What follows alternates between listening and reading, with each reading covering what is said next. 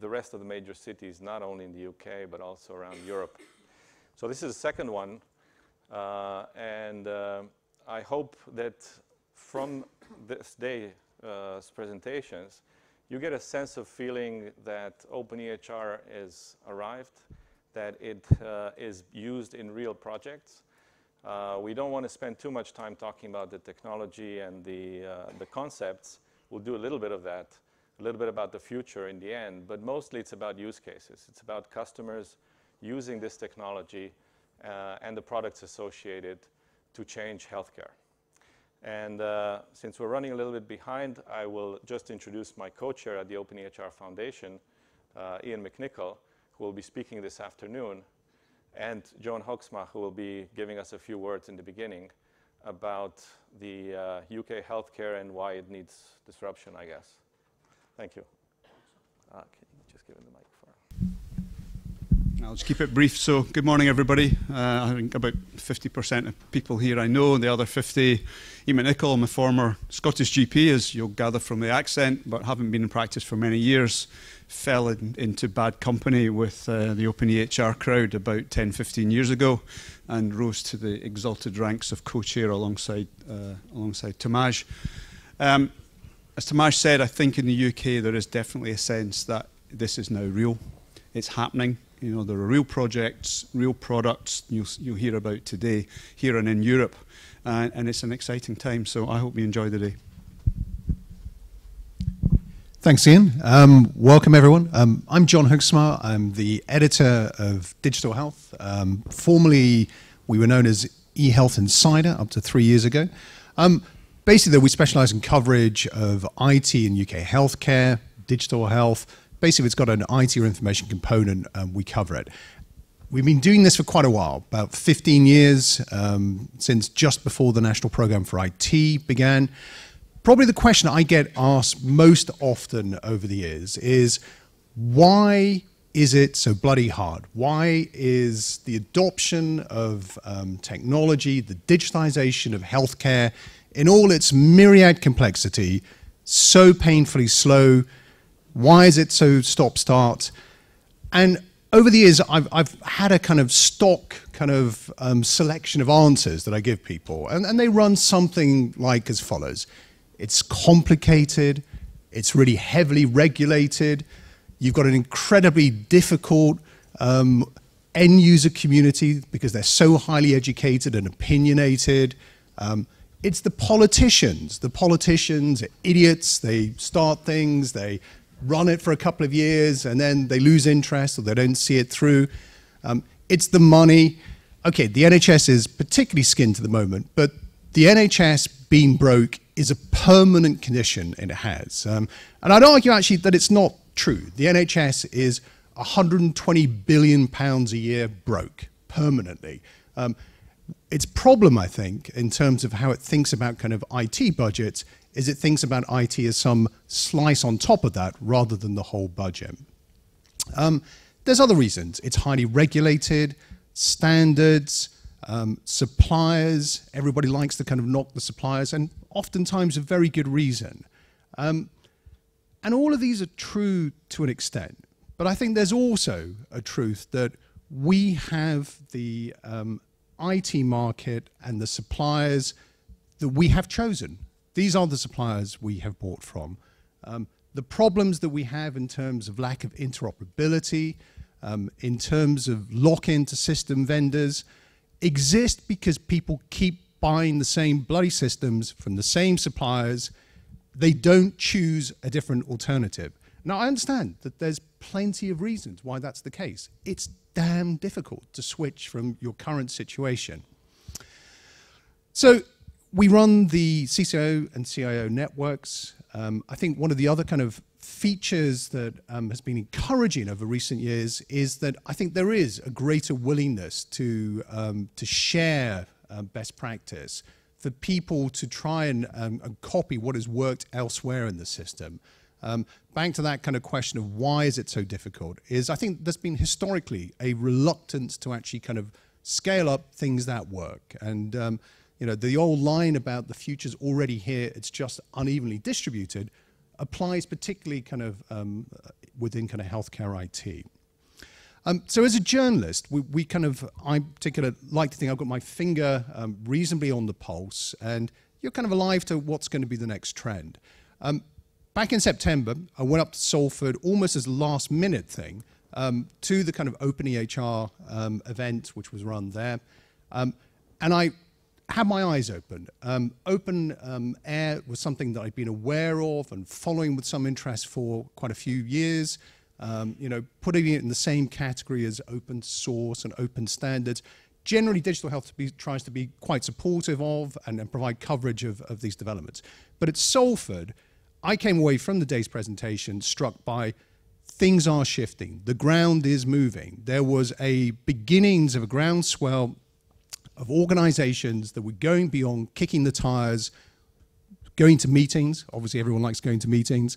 Um, and actually beginning to put some of um, this into practice. There were enough open EHR uh, projects that you could consider at the beginnings of a movement. The fact that one of the GDEs, um, Salford, was actually kind of um, beginning to explore bimodal development using kind of um, OpenEHR. Uh, the fact that a trust, Plymouth, had actually signed a contract finally to um, to kind of um, deploy some Marand stuff. Um, and in particular, I think the one that really struck me was the number of kind of trusts that had a just a slice of OpenEHR through the kind of Genomics England programs meant that we were at the beginning of, of a shift change, I think. Um, and that shift change being that people were willing to at least try. So it's early days. Um, I think in terms of you think about sort of tidal forces, um, we're still at the high water mark of the big proprietary mega suites in the UK market. You know, the GDE program and another push over the top with Cerner and Epic and Allscripts. It's, you know, it's the end, I think, of, of that kind of um, that wave, but we're not kind of at the point where that's receding yet. Um, you know, GDEs will only benefit about 20% of trust. There is, in effect, no real answer to all the rest of the trust in the country. Fast followers is essentially telling trust, you know, manana if you're lucky. But, you know, the experience of kind of dealing with HM Treasury is if you're not front of the queue when the money's being handed out, forget it. You know, if you're third or fourth down the line, go and find something else to do. And I think where OpenEHR is, is particularly important to um, NHS trusts um, is that 80%, the kind of have nots, those that are not in that golden circle of GDEs. And frankly, even the GDEs, the sorts of sort of sums of money um, are relatively trivial in terms of the challenges they have at hand. And it only deals with a limited part of what they need to do. So we have a great lineup of presentations.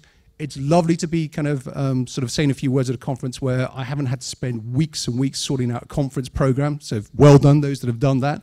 Um, and next up, we have um, Tomaz um, Gornik, the CEO of Marand. Um, had the pleasure to speak to Tomaz over dinner last night, He's going to tell us about the postmodern EHR. Tomaz, over to you.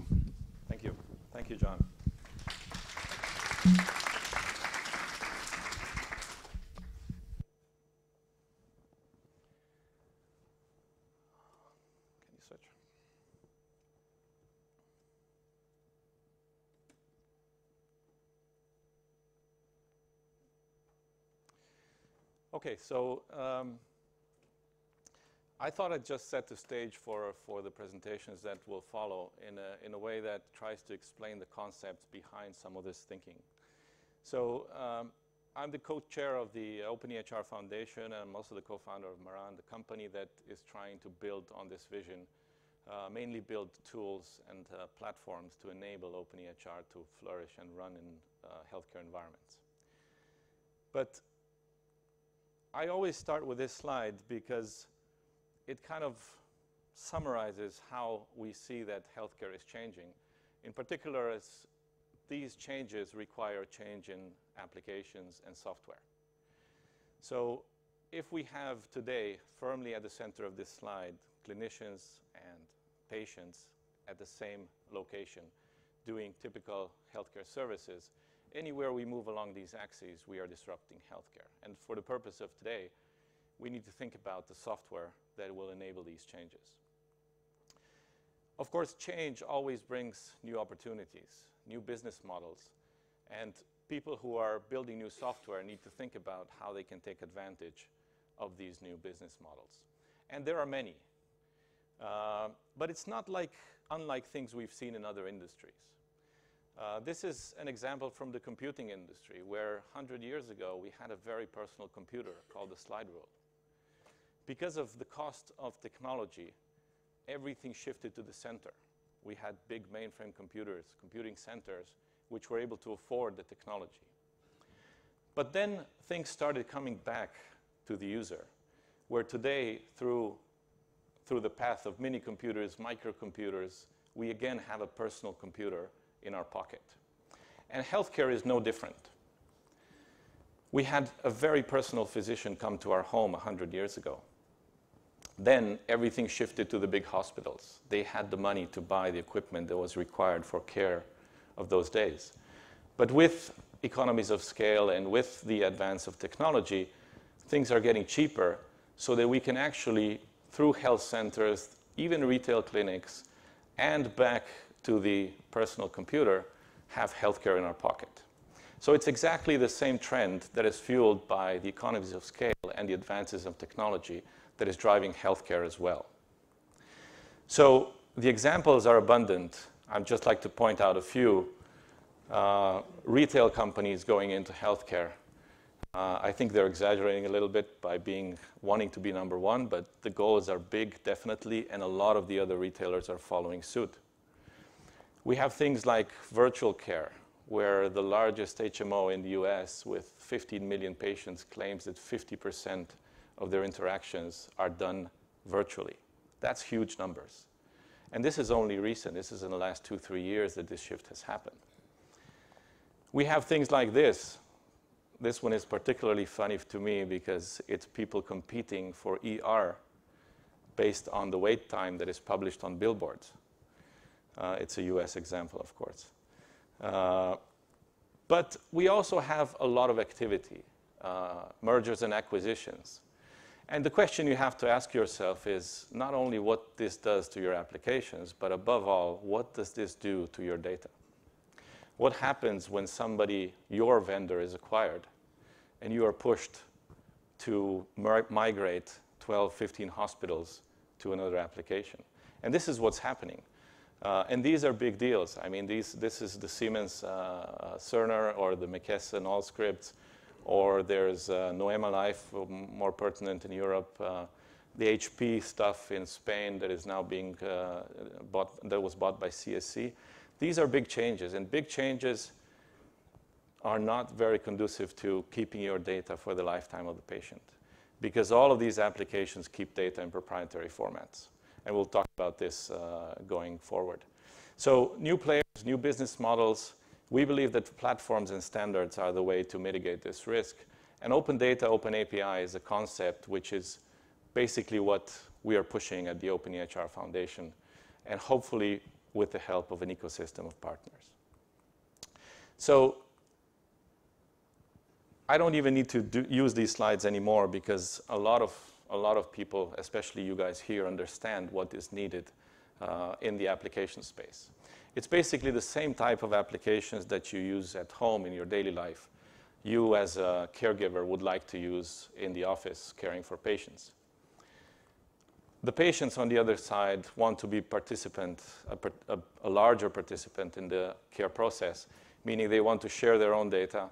They want to be sure that the, the clinician dealing with them has access to all the relevant data to make the right decision um, and of course, they want to keep this data private, but also accurate.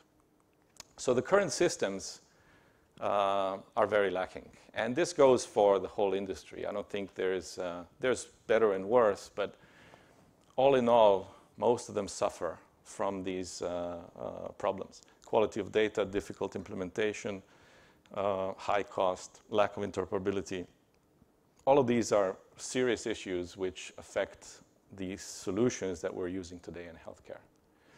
So I've, about three years ago, I started comparing this to other industries. And one of the industries that is particularly interesting is the ERP industry. So think about this. Three years ago, if you went to Gartner looking for an ERP solution, they would say, go out and buy SAP. Oracle Financials. The thing is, they're not saying this anymore. Uh, actually, two years ago, they published this. And what they're saying is that the traditional systems were built for the needs of the past. And they're also saying that they can't cope with the requirements of the digital era, in especially responding to what they call business moments, which are much faster pace of business enabled by digitalization. So this is the ERP industry, right? But this is Gartner saying that the mega suite will not cope with the demands. So what we're trying to prove is that healthcare is slower, but is no different. And that the same trend is coming to healthcare, maybe with a five to seven year uh, delay. But we're almost in those four years after, after they started saying this. And the way they explained it is that we used to connect systems peer-to-peer or um, basically point-to-point, -point, not peer-to-peer. Best of breed, connected through integration, high cost, relatively low uh, level of interoperability. But that's how we were working in the 90s. Because of the backlash, the Mega Suite came, pre-integrated, uh, you don't have to worry about uh, integration and the costs involved. You put in the mega suite, and that's it. But what Gartner is now saying is that the future, and this is what they call the postmodern ERP, and I have just basically used that term uh, for the postmodern EHR. What they're saying is the core shrinks, and the innovation happens around that core. And the best example I have is that if you're a CRM user using SAP, you are more than likely to switch over to Salesforce, even though you have CRM and SAP. You actually cross it out. You start using Salesforce. Workday is another example. There's a lot of examples in the other spaces. So we believe that healthcare has to follow the same path if it wants to do the run the business part, which is done by the core, but also be open to innovation. So there's a fundamental difference between ERP and healthcare, and that is the data the data in healthcare is much, much more, uh, uh, has to be much more long-lived. Uh, and of course, it's much more complex. And people coming from other industries, we, we were in telco for a long time, are always amazed about how much more difficult it actually is. But this type of architecture basically allows for the bimodal approach, where you have the reliable, uh, run the business type of applications and teams actually, and also the agile, the, the new stuff, the patient-facing stuff in this case, the devices, uh, uh, all the things that are really hard to do in an existing system without huge cost. So coming to healthcare, we all recognize this architecture as something that is running in most care, care organizations. It's basically a core system, and then you have the labs and the radiology and the pharmacy and maybe the ICU. And they're somehow in best cases, connected with an IHE-based uh, HIE, Health Information Exchange. So what we don't realize is that hospitals also have a lot of other systems. Now, Andy just walked in from Plymouth. Uh, they have about 170. And I think that's actually quite good because hospitals claim they have 500 or even thousands. So it's not even these are the, that are the problem, but there's also ones that we don't even know about. So think about the GDPR coming in May. How are you going to work in this architecture if you don't even know which applications you have, let alone which data on which patients they are storing? But that's not the only problem. The problem is that these applications appear for a reason. There's a requirement that somebody in some department has. They go to their IT department. The IT department says, we'll talk to the vendor. The vendor comes back with either a huge number or a two-year cycle and it doesn't solve the problem. So this head of department goes out and builds their own application. Usually not a very good application, but it solves the problem. It's a lot of times even innovative. Okay. So how do we get from something like this to something that is sustainable, organized, and actually can comply with the GDPR directive?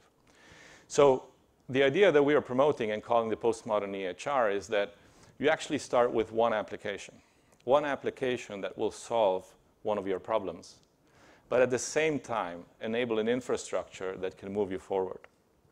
So you'll be hearing today from Plymouth where that application is e-prescribing. It's one thing that they really need. They would have done this anyway. So why not do it in a way that will allow them to move the rest of the applications in due time? Okay? It's not a big bang replacement of what they have. It's actually solving the immediate problem, but then setting an infrastructure that can gradually move the other applications across. And this is what we call the postmodern EHR. So the proponents, I mean, the, the components are multi-vendor. Uh, they could come in different deployment models. They can take advantage of the new technology because they are basically new applications. But the main thing is they work in this bimodal world where you keep the old stuff running. It's a real pain to replace an existing uh, PAS or, uh, or even uh, an EHR. So let's talk about the data, the stuff that's different between the EHR and the ERP world. So applications in any industry keep data in proprietary formats. The problem, as I said before, in healthcare is that we need to keep this for the lifetime of the patient. So in the ERP world, five-year-old data, you put it in the data warehouse, you're reporting, it's fine. In the EHR world, you need to keep it active and accessible for the lifetime of the patient. So what does that mean? There is no application that lasts 100 years. Even if you have the best, you will be migrating every 15, 20 years, depending on how much money you have from one system to another. And even between the vendor upgrades, the same vendor, you have a migration. So a lot of times this is so costly, you just forget about the old data. That's, that's what ends up happening. So what is curious is that in healthcare, we've actually solved this problem for images 20 years ago. Uh, the DICOM format is a standard, and nobody today would put an image in a different format. So CDA or even PDF is a vendor-neutral format for documents. But the structured data is still kept in those silos. And that's what we're working on at OpenEHR, putting the structured data in a vendor-neutral format and decoupling it from applications. So the architecture that we get is something like this, where we have uh, a service bus, but we have the three types of data images, documents, and structured data in a format that doesn't depend on any one of the applications. And this means that the applications using these APIs can be from different vendors. So just recently, this year, Gartner also recognized that this is the way forward. And they actually clearly stated that it is not enough to exchange data in open formats between applications in healthcare. You actually have to persist it in an open format. And they specifically mentioned VNA, which is the imaging, OpenEHR for structured data, and XDS for documents. And this is a really important paper for us because up to now, as I said before, the idea was buy the mega suite, don't worry about this stuff. Now they're saying, actually, if you want to move forward, effectable and sustainable architectures will require vendor neutral storage of data. So this brings us to OpenEHR. And since the whole session and the whole day is about OpenEHR, I thought uh, in, in, Manchester I did this at the end, but I don't think it, it made much sense because some people still uh, uh, maybe are struggling with what OpenEHR is. OpenEHR is basically a set of specifications uh, to define an e-health platform which is based on these concepts we were talking about. It has several features which make it really, really useful for dealing with healthcare data. Uh, and one of the prime ones is that it separates the content from the technology, meaning that the models, the data models, are built by clinicians and the software is built by IT people. Now, you would think that's obvious, but think about the applications that you have. A lot of them were either coded by clinicians or the data models were built by IT people. Uh, that's how most applications are built. And we believe that's fundamentally wrong. And OpenEHR has tools to make it easy for clinicians to define the models and for the software people to use those definitions. So the data that is stored in OpenEHR is basically of four types. So the observations, everything you learn about the patient, what the patient tells you, what past results, family history, and so on tell you. The evaluation, where somebody makes a decision based on this data and a knowledge base, uh, things like diagnoses, things like um, what procedures to do, assessments, so on. Based on this, they issue orders. They're called instructions in OpenEHR, like uh, medication order, lab order, and so on. And then these actions are carried out by the staff. And this circle, of course, continues as the care process uh, evolves.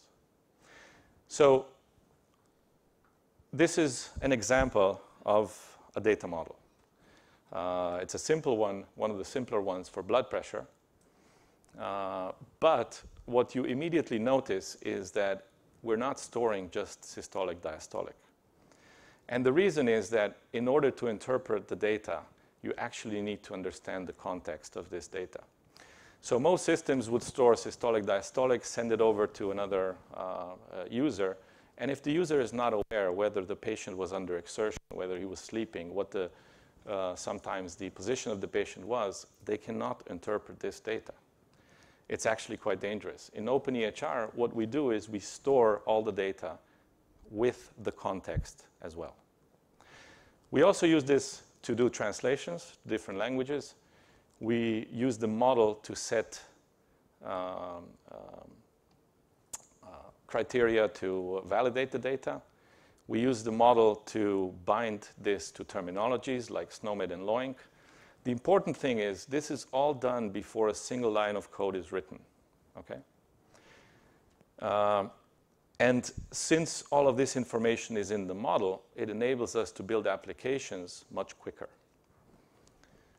So the archetypes, as they are called, are assembled together to form something called templates. And this is the two-level modeling concept.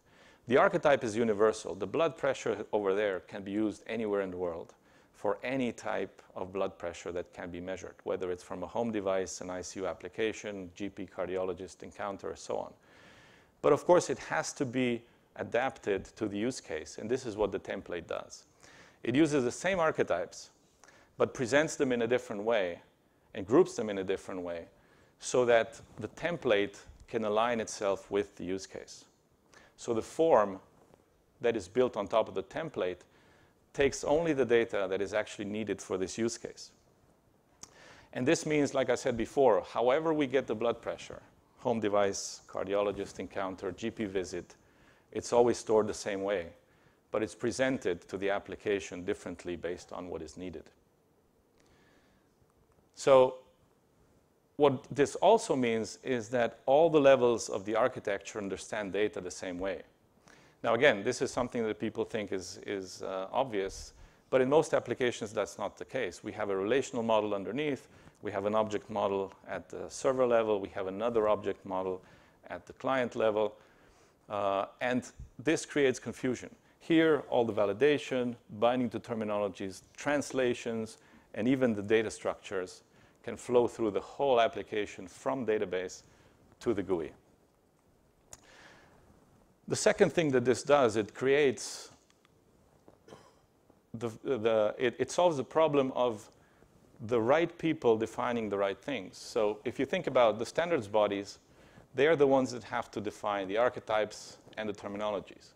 Then we have governments, regions that are trying to build a system for that area that can define some templates. Like you would want the discharge template to be the same in a country, hopefully, or at least a city. But then the vendors can add their own templates based on the use case, based on what is needed by their users and the application. And after they do all this, they can actually use tools to generate some code, build some of the rest, use the APIs, build the application. But what is ensured, because these arrows all point in the same direction, is that whatever you do here, you can still query the basic archetype in the same way. This also brings portability to queries. So different applications, if they store data using the same archetypes, can use the same queries, which is very important.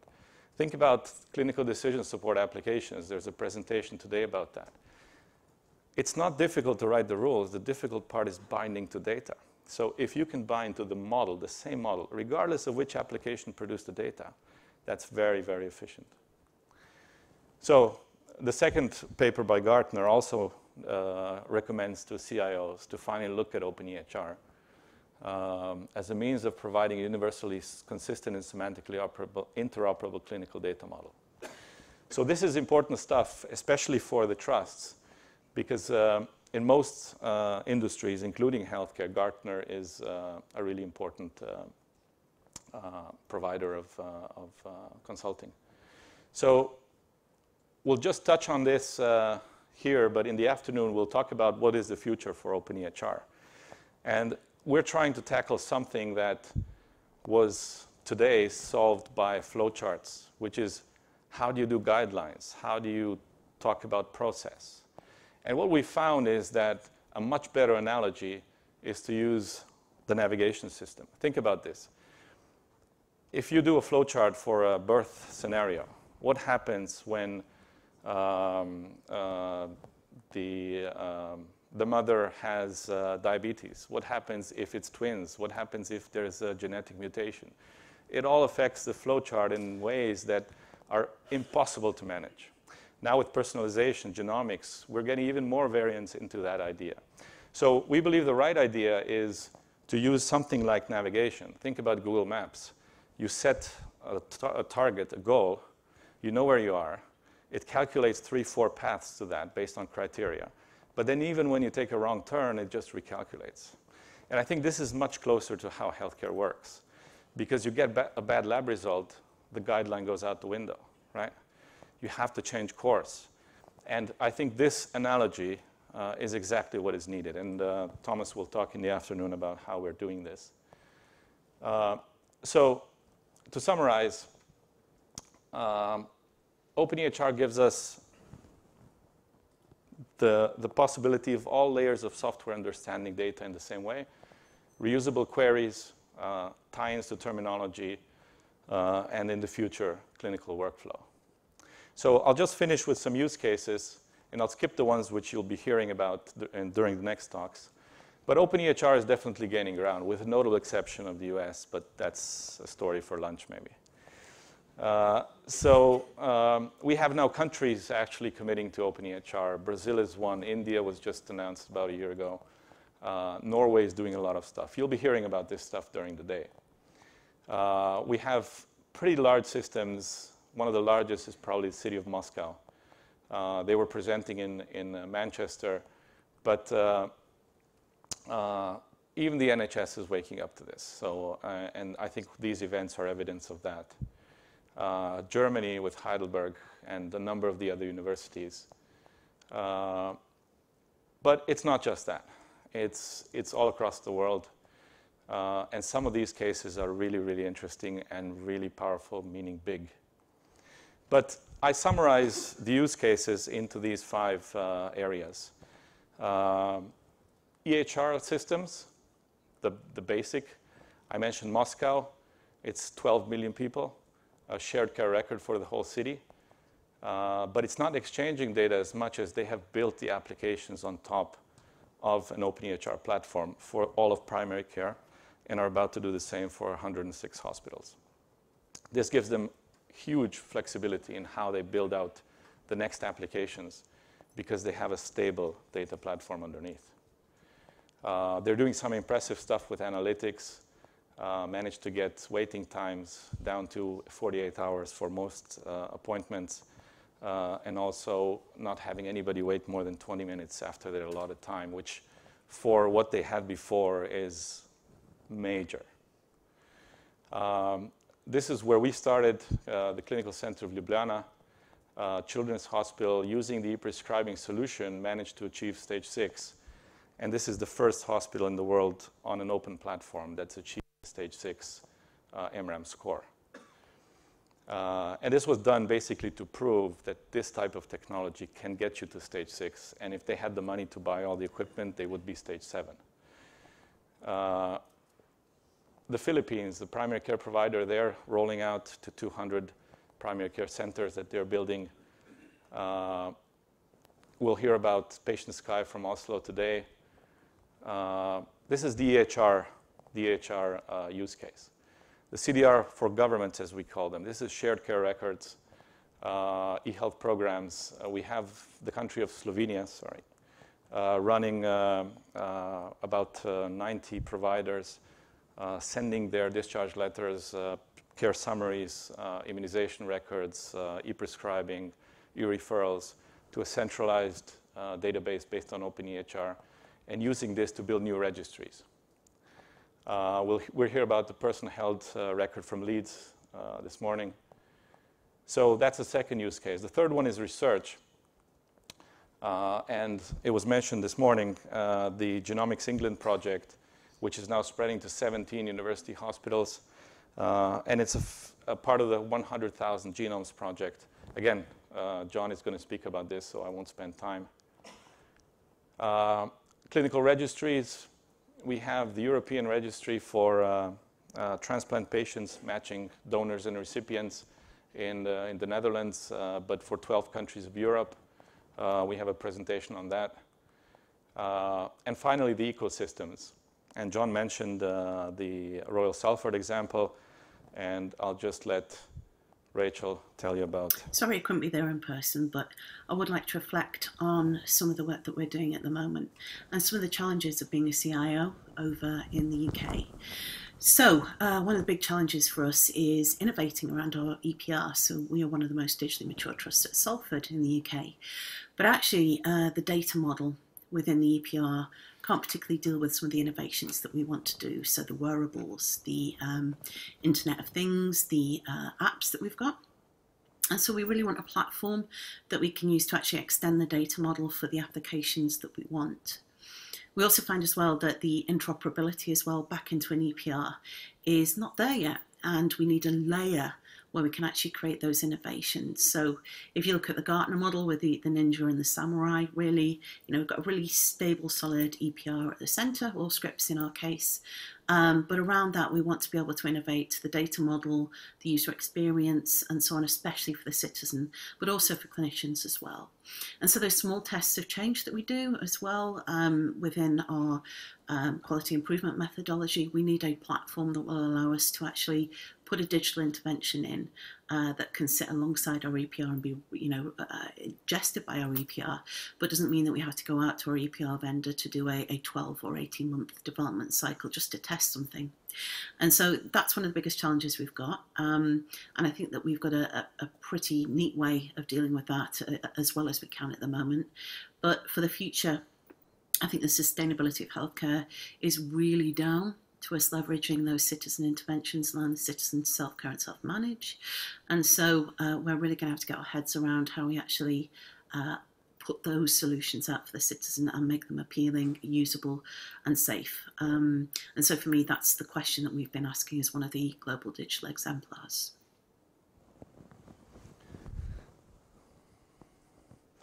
Um, a very interesting project we just started with the largest uh, lab automation company in the world, Inpeco. They're OEM by Siemens and Abbott, and they do the uh, most of the large labs, including Quest and so on in the, in, in the, in the US. Uh, they're thinking about how they could offer this directly to the patient using a personal uh, health record based on OpenEHR. Uh, Medtronic, we'll hear from Atitz later, uh, a patient engagement solution uh, called Get Ready. Um, so the examples are all over the place. Uh, obviously, uh, they're not only in the UK, some of the larger ones are outside, and uh, our mission is to bring these examples here uh, to talk about them and to see how the UK can also move forward using these examples.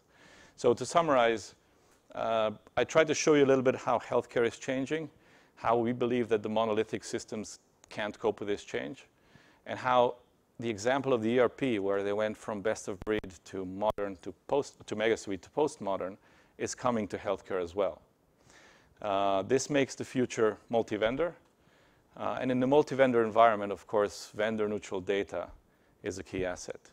And hopefully, we'll give you a glimpse today how the OpenEHR initiative provides a proven platform to make this happen. Thank you. Uh, Tomaz, we're running actually to time. Have we got time? Yeah, Just a time quick couple of questions, questions. Absolutely, absolutely. Who's got a question they'd like to kind of put to Tomaz at the front here? Karl Strothmann from America. Tomaz, when you talk about structured data, Yes. do you mean only structured in the sense of the clinical document architecture, or do you really mean semantically coded data? And uh, I was also missing in your blood pressure the measurement unit. Was not human. Do you Oh, it is. It is. It- that's just uh, um, um, how do you call the the image? Uh, it's um, it's a mind map, right? So that's not the XML that comes out in the end. Yeah, yeah. Of course, I mean, ideally, you would like to code it with terminologies, make it semantically interoperable, and uh, uh, it's actually just as difficult a problem to code the same as it is to structure the same. So this is a serious issue which we all are fighting every day. Uh, think about the lab systems. You know, uh, in most countries, everybody uses different codes for labs. So I don't think there's much disagreement in the simple stuff, but with things like labs, with things like um, you know things that physicians do a lot and are used to a certain terminology, there's a big effort to move them over. Otherwise, you have to cross map. So there's many ways to solve this, and uh, maybe we can talk about this in the afternoon. Where We'll talk about tools. Okay, because I thought OpenEHR would have the terminology, the measures of units. It doesn't have its own terminology. Well, it has all the, of course, the units. But uh, I think Ian will talk about this in the afternoon. That's a real issue of Yeah, yeah, absolutely. A couple of quick further questions. Anyone else like to ask a question of Tomaz at this point? I mean, I'm, I'm here all day, so we can we can discuss during the breaks. Tomaz, thank you very much. Thank you, Um, next up, we have um, John Creed, who's the um, CEO of PatientSky, um, a Englishman um, transforming um, Norway's um, primary care EPR market, and a lot more beside. Um, John,